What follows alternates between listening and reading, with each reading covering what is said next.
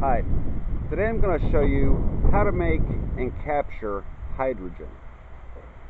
I have a beaker here that has uh, aluminum foil that I've cut into strips and I have muriatic acid and a balloon.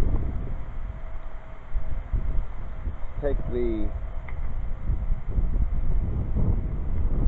muriatic acid and pour it into the beaker of aluminum foil.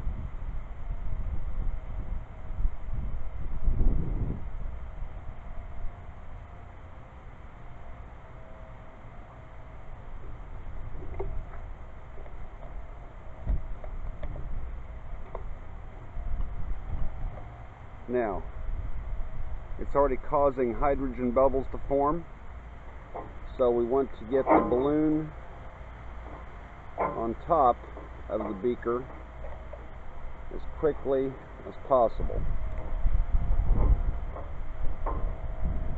Now as the acid dissolves the aluminum foil, the hydrogen gas will enter the balloon and inflate the balloon,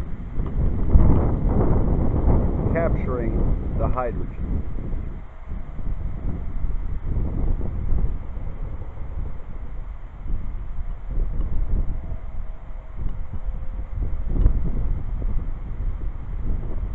See it bubbling and the glass is getting very hot.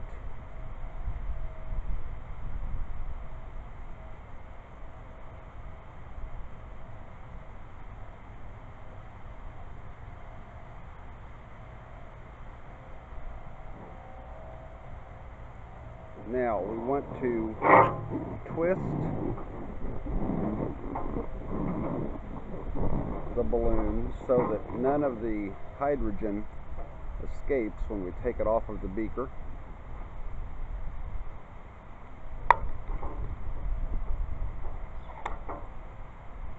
And there we have captured hydrogen in a balloon. Thanks for watching.